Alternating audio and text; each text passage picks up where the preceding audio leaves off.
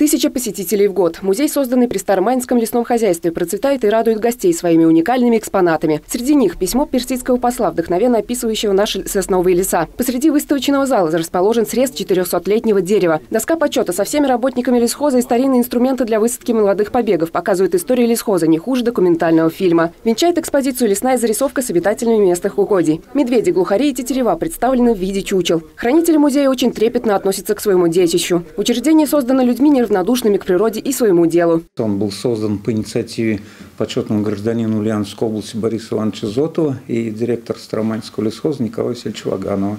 Здесь мы собрали историю развития лесной отрасли Ульяновской области, России – и наиболее важные и интересные вехи развития нашего предприятия Старомайнского лесхоза. Лесхоз не остановился в своем развитии. Руководство арендовало прилегающие земли, где находится лес. Предприятие занимается глубокой переработкой древесины. Производство практически безотходное. Все, что у нас получается, опилки разные, там горбыли, мы их перерабатываем, пилеты. Вот мы их вам как бы показывали.